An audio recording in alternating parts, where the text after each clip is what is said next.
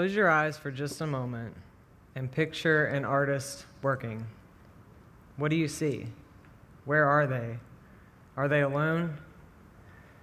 Most people, when they think of an artist, picture a really solitary practice. And for many artists, that's true. They spend months and months, sometimes years, alone in their studio making a new body of work. Sometimes they'll share a sneak peek of what they're up to on their social media accounts, but for the most part, that work is completely under wraps until the gallery opening. And that's what brings people out to the opening the idea that they're finally going to get to see this work, to be let in on the secret of this person's solitary art practice. Until pretty recently, this is the story I told myself about who I was as an artist.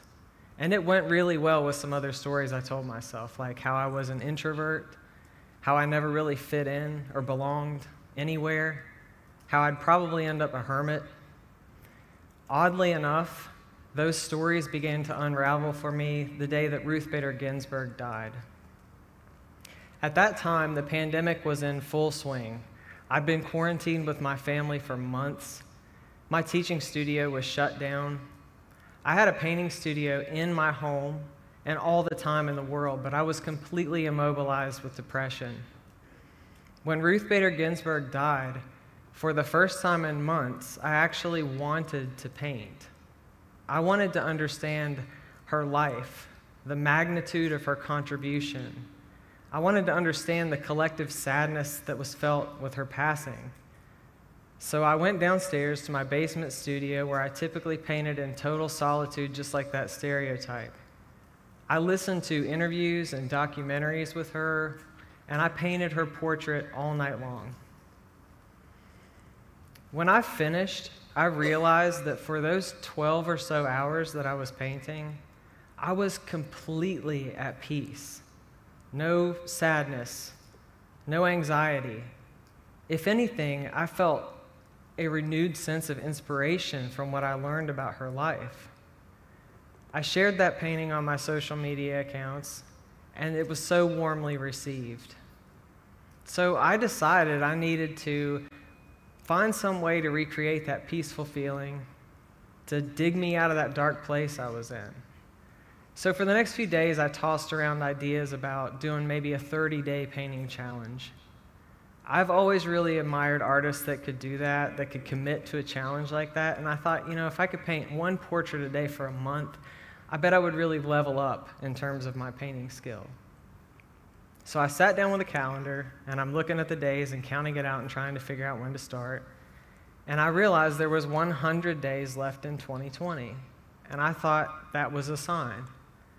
And I decided I would finish out the rest of that just dumpster fire of a year by painting one portrait a day for 100 days, which was totally a bananas thing to do, and I knew it at the time. So before I could change my mind, I made a blog page on my website where I would share the work.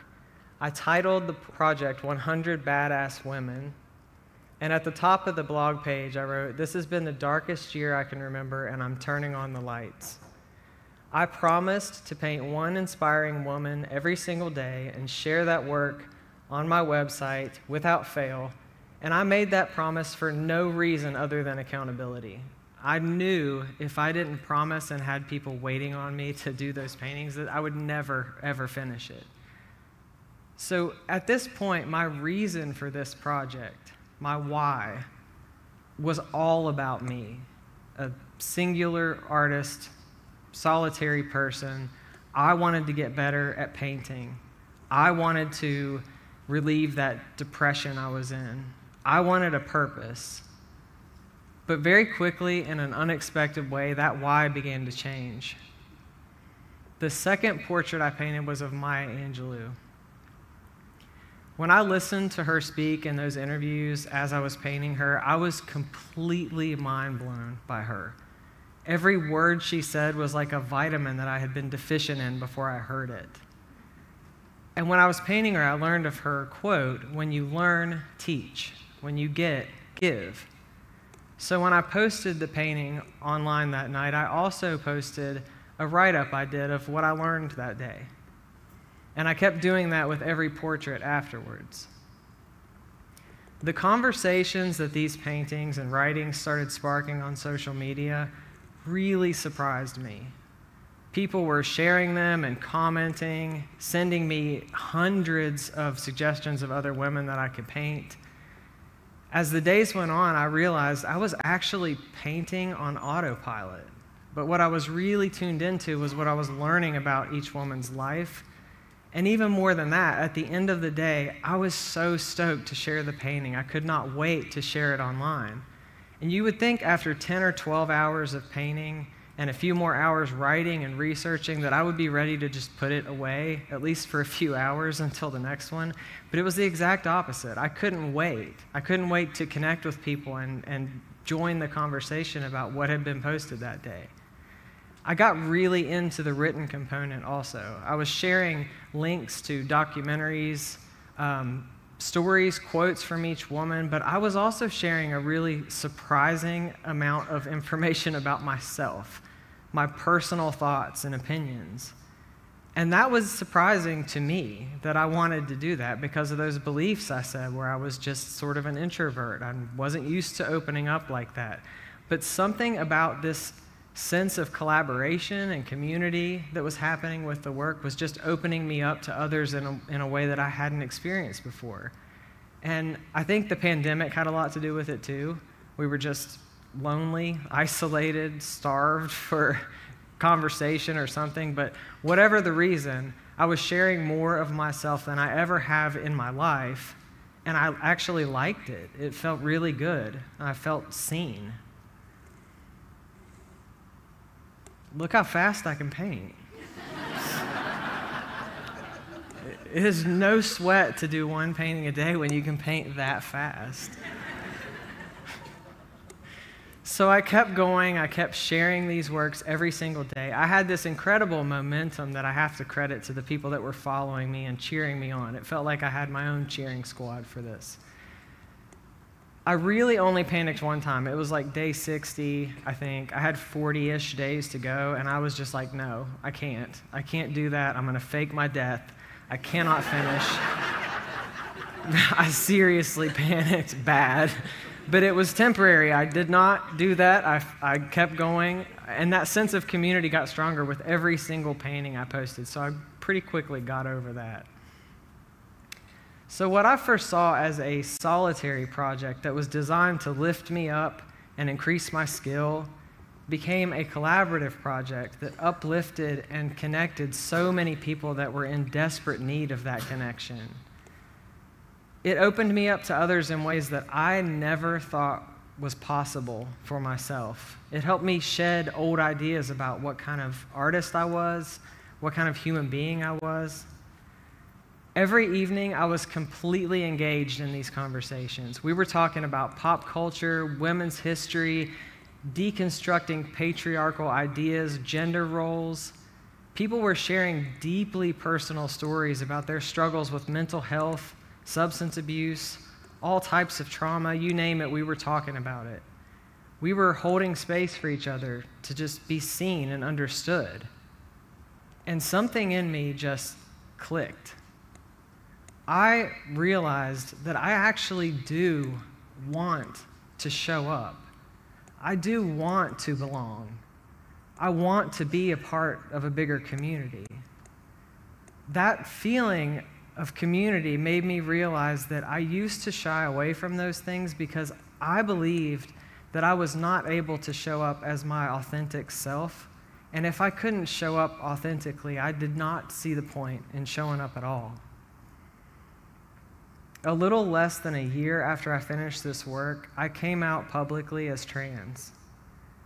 I never thought that I would be able to share that with anyone in my lifetime. I believed that I could only exist as my full self in total solitude. And that is an excruciatingly lonely way to live. By the time this work was exhibited at the Huntington Museum of Art, I was nearly a year into transitioning. I was able to stand in front of hundreds of people and speak so openly about my journey, about how this work and the conversations about gender roles helped me embrace that truth about me, about how the community helped me share that truth about me. I was completely terrified to talk about those things, but I was met with nothing but love and support. Looking back on the project, I can honestly say I did meet all of my original goals. I got a lot better at painting the anxiety and the depression that I was experiencing did fade, but I gained so much more than I thought I would. The connection I felt to my community helped me show up more authentically in the world.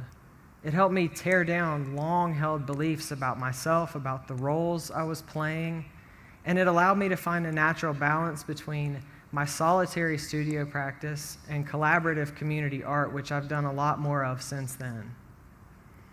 And even though things are really scary right now for trans people, it gave me the strength to stay in that authenticity no matter what. The way I found this sense of belonging felt like a happy accident.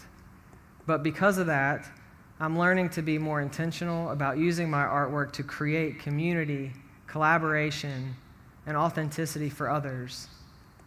And as Maya Angelou said, when you get, give. So, from this experience, I would like to give you an invitation. I want to invite you to reconsider the roles you play and the stories that you tell yourself about who you are. Think about parts of yourself that you might feel are unworthy of being seen or unworthy of being loved. See if you can make space within those parts to let others in. Thank you.